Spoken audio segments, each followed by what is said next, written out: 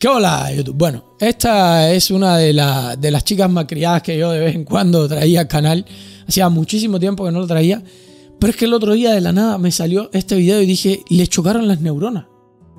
Le chocaron las neuronas a esta chica, no sé si es que está madurando, está aprendiendo por el camino, ya lleva más tiempo en Estados Unidos, quizás está creciendo, no sé, porque no la he seguido de cerca, la verdad, pero, pero al menos en este sentido, bro, la muchacha ha madurado tengo que reconocerte, Randelli, que has madurado, amiga. Chocaron tus neuronas aquí. Tuviste algún tipo de experiencia que, bueno, no lo sé, no lo sé, pero acá hablaste con la razón. Vamos a ver a Randelli hablando con la razón. Y cuando alguien dice algo que me parece correcto, pues también tengo que destacarlo, ¿no? No, no siempre es dar palo. Vamos para allá. Lo que yo nunca voy a entender es a esos cubanos que lucharon tanto por irse de Cuba y una vez están fuera, van a Cuba a vacacionar todo el tiempo. O sea, ¿para qué vas a Cuba? ¿Para qué vas a Cuba? Yo de chiquita, eh, mi, película favorita siempre fue La Sirenita Ariel y me encantaba la parte eh, donde ella cantaba que se quería ir del mar y yo me sentía tan, pero tan identificada con esa parte porque así me sentía yo con Cuba, me sentía que Cuba era una cárcel de la... Y lo es. Y lo es. Cuba, Cuba es una cárcel. Creo que aquí Randelli está hablando con toda la razón del mundo. Yo a día de hoy todavía no entiendo ni siquiera cómo es que el gobierno de los Estados Unidos le da, ya sea un parol humanitario, ya sea lo que sea, pero te dan acá, dentro de los Estados Unidos, un asilo político, ya sea asilo político, religioso o el tipo de asilo que tú hayas pedido, resulta que al año y un día te permiten regresar al mismo lugar del que supuestamente tú estás huyendo. Es algo de verdad inexplicable para mí. Inexplicable. Y es que la dictadura, claro, antes la dictadura era más férrea y por eso la gente tenía miedo de regresar. El que se fue en los 60, el que se fue en los 70, yo he hablado con personas de esas épocas, que se fueron en esas épocas. Y esas personas te dicen, no, yo, a Cuba no viro. No, estás loco, yo a Cuba no viro. Con miedo y todo te dicen, yo a Cuba no viro. Porque fueron gente que se fueron en medio de los actos de repudio fueron gente que, bueno, en las embajadas las imágenes están. No fue espontáneo. A nadie se le ocurrió coger cuatro palos y darle palos a los vecinos. Eso no es así. Este grupo de personas afines al régimen ha impedido el encuentro. Primero con un acercamiento excesivo, después con golpes en la cabeza y tirones de pelo. Las embajadas, los padres subiendo a los hijos por encima de, la cerca, rápido, rápido, dale, los tipos brincando, porque aquello fue una locura. Mi mamá me contó una vez una historia que esta, esta es real de mi familia. Cuando una parte de mi familia vino hacia acá, hacia los Estados Unidos, que era una parte que era, por la parte materna, fueron refugiados políticos, mi abuelo los tuvo que defender con un machete porque les hicieron al frente de la casa un acto de repudio. Mi abuelo, mi abuelo materno, estoy hablando, mi abuelo materno se paró con un machete afuera de la casa y empezó a golpear nada más en la reja. Así, estaban toda la gente del barrio porque te hacían actos de repudio por, por barrio, ¿no? Se, organizaba la gente y te hacían un acto de repudio y te gritaban gusano, escoria, vende patria y te gritaban de todo. Dice mi mamá que mi abuelo nada más se paró afuera, así, con el machete golpeando en la reja de la casa. Como diciendo, el que pase para acá, ustedes de ahí para allá griten todo lo que les dé la gana, pero el que pase para acá, chapeado. Y se paró ahí con el machete y nadie se acercó. sí les gritaron de todo pero nadie se acercó, ellos se pudieron ir en, el carro y no, no, les pasó absolutamente nada. Pero no fue lo que ocurrió con un montón de gente en Cuba. Un montón de esa época en Cuba sí se fueron bajo actos de repudio, bajo escupía, sí, escupía, pedradas, etcétera, etcétera, etcétera. Sí, eso en Cuba se hacía. Esos actos de repudio en Cuba existían. Sí, sí, sí, señor mío. Sí. ¿Qué pasó? Que en los 90, con la caída del campo socialista, a Fidel Castro le hizo falta el capitalismo necesitó el capitalismo para sostener su finca bien amueblada. Y por eso fue que permitió de nuevo la entrada de los cubanos y ya no eran gusanos, ya no era así. Siempre está el chiste. De que el cubano antes cuando se iba le gritaban traidores, traidores, traidores. Y los que se van ahora le gritan trae dólares, trae dólares, trae dólares. Este chiste, ese chiste es muy cubano. Es un chiste muy cubano. El de trae dólares. Es sumamente cubano.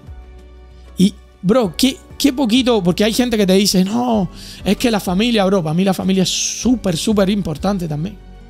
Sumamente importante.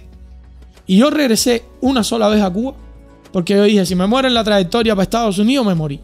Y ya está, me morí. Pero fuera de eso, bro, fuera de eso, men. No, bro, ¿qué se me perdió a mí en Cuba? Es verdad, tengo familia en Cuba. Es verdad, me duele mucho. Pero mientras estén los dictadores que me hicieron precisamente salir de ahí, ¿cómo voy a regresar, men? ¿Cómo voy a regresar? Pidiendo yo en este país asilo político. Es increíble, macho. Es increíble. Que yo me quería escapar y una vez fuera libre podía hacer lo que yo quisiera. Y literal. Y ahora que estoy libre, es como, ¿por qué caramba voy a volver a Cuba? Ver videos de Cuba me trae recuerdos como agridulce, como, como es un sentimiento de que no quiero volver a ir. El otro día, más que recuerdos agridulce, el otro día vi unas fotografías de, de Vedado, de, bueno, un barrio donde yo me crié. Y, bro, es increíble el deterioro. La, la imagen, cuando uno se va a un lugar, quizás alguien que ha vivido toda la vida en el mismo lugar, o alguien que vive en un país que no es tan subdesarrollado como Cuba, no, no le pasan estas cosas. Pero tú te vas con unas fotografías en tu cabeza, ¿no? De lo que era esa zona. Y cuando me enseñan videos de esa zona, la última vez que vi videos de esa zona, es impresionante, bro. Las aceras estaban todas destruidas por completo. Las lomas todas destruidas. Estoy hablando de las lomas de subir a las aceras. Los bordes de las calles todos destruidos. Las calles todas destruidas los árboles caídos por los ciclones y nadie los había quitado. Man, es impresionante. Es impresionante. La imagen en mi cabeza dijo como, como cuando tú pones una del lado de la otra, busca la diferencia y eran miles. Las diferencias eran impresionantes, mano. Cuba no es un país detenido en el tiempo, es un país que está retrocediendo en el tiempo. Es impresionante, bro. Es increíble. Increíble. Por eso le tengo que dar toda la razón a ella en esto que está diciendo. Pero absolutamente toda la razón a ella.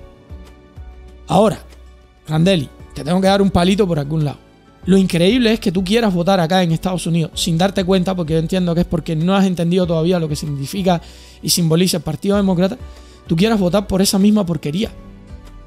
Eso es lo impresionante. Pero bueno, eso es un tema aparte. Estamos con este que te doy la razón. Estás clara. Estás clara. Porque me da el miedo de que si voy más nunca puedo salir. Es que, es que fue mi cárcel. ¿Por qué voy a querer a regresar a un país donde estuve presa por tantos años? O sea, no hay manera de que me pueda convencer de que quiera volver a Cuba por mi voluntad. Y Randeli termina diciendo que no hay manera de que tú la puedas volver a hacer regresar a Cuba por su voluntad. Yo creo que esta chica en ese sentido es muy, muy, muy madura. Hay, las mujeres ciertamente son un poco más maduras que los hombres en, ciertos aspectos y yo creo que este es uno de ellos. ¿Por qué yo voy a regresar al lugar donde estuve preso?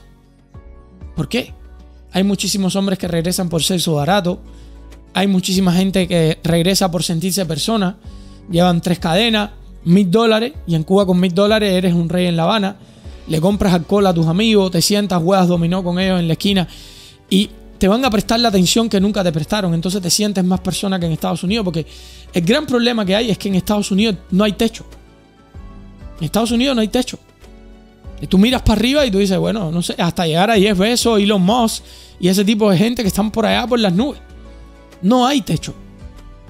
Entonces, claro, sentirse aquí por tener 10 mil dólares en el banco y un, una camioneta, tú eres uno más. Eres uno más del montón. Sin embargo, en Cuba con mil, dos mil, tres mil dólares para un mes, eres, un rey en La Habana. Tus amigos te van a prestar la atención que nunca te prestaron. Te van a tratar como nunca te trataron, como un rey. Y mucha gente va buscando eso. Es impresionante, ¿no? La naturaleza humana es increíble. Están dispuestos a sacrificarlo todo porque puede ser, te puede pasar que simplemente en Cuba te pase algo muy, muy malo. Miren a Gamboa lo que le pasó. Tuvo un accidente, mató a una persona, se salvó porque es Gamboa y lo soltaron y el tipo, como lo soltaron, se salvó. Pero la noticia era que Gamboa había matado a una persona en Cuba. Un 31 de diciembre. Entonces, teniendo en cuenta todo esto, brother, ¿por qué tú regresarías a ese país? ¿Por qué Estados Unidos le permite al cubano regresar?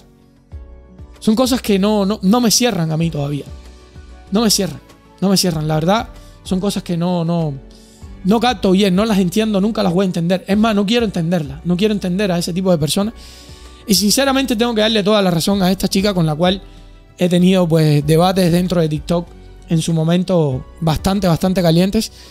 En este sentido le tengo que dar toda la razón a esta chica. Tiene toda, toda, toda la razón.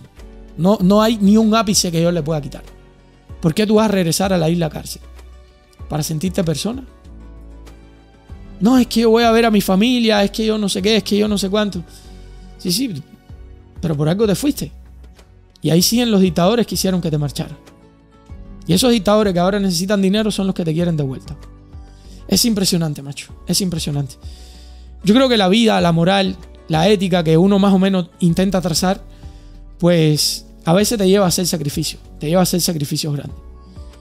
Y yo creo que vale la pena el sacrificio de no ir más a Cuba. Yo creo que vale la pena. Pero esa es mi persona, ¿no? Nos vemos en la próxima aventura, gente. Chao.